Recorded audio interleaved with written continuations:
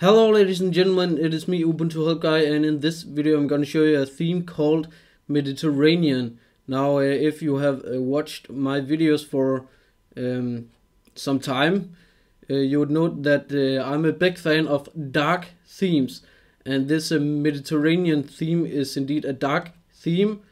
And um, so if you just uh, go to my description or the video description you'll see how to install this theme just open your terminal and type this in uh, add a uh, ppa and then type oh sorry.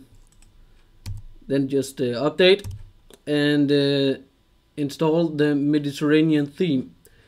Now when you've done that you can uh, go ahead and open up the advanced settings and if you don't have advanced settings installed you can go ahead and open the Ubuntu Software Center and install advanced settings from there now uh, let's just open advanced settings and go to theme. Right here in the GTK theme section you have 11 different uh, variations of the uh, Mediterranean theme.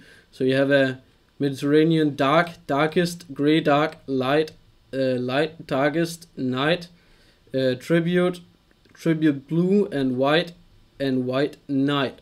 So you can go ahead and play around with that, but uh, this is indeed one of my favorite themes in the Ubuntu history. Well, not the Ubuntu history, but uh, as you can see, it's a pretty damn nice theme with um, you know these cool buttons here. So right now I'm using the um, Mediterranean darkest version, both in the uh, GTK theme and the window theme.